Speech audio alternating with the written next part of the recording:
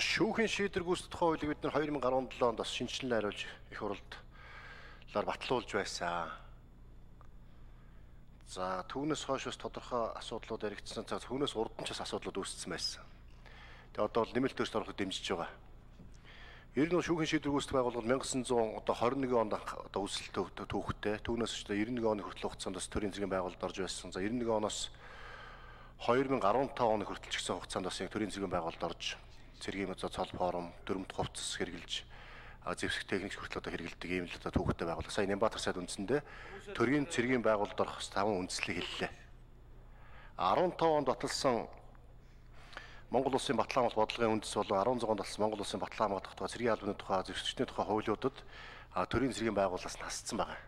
А үүнээсээ болоод үндсэндээ шүүгэн шийдвэр үүсгэж байгаа байгууллагуудын одоо албаа хаагчдын дүрм товц өмсдөг, тангараг өргөдөг, тусгай үүрэг гүйцэтгэх мөртлөө бусд одоо цэргийн байгууллагын албан тушаалтнуудаас илүү одоо юу гэдэг доогуур нийгмийн асуудал нь шийдэгдэж явсан ирсэн.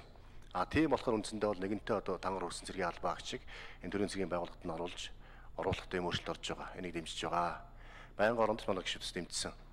За хоёрдугаарт нас тэр түрүү ярьсан 2002-оос 2018 онд шүүгэн шийдвэр гүйцэтгэгч нараас энгийн ажиллаад өнөөсөө болоод одоо тэтгэвэр авч чаддаггүй. Ялангуяа одоо бас үүний цааталт нь дахиад одоо бол 100 гаруй хүмүүсийн нэг бас шийдэгдэх юм шиг байна. Тэтгэвэр тэтгэмжийн асуудал ажиллаж байгаа.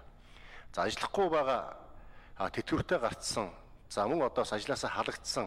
А гисэн мөртлөө ажиллаж байсан улсуудаас төрийн цэргийн албаа гэх юм бас тэтгэврийн тэтгэмж авах хэвээр эрх үүсгэх хэвээр эрх зүйн байлгад ордуулах ёсгүй.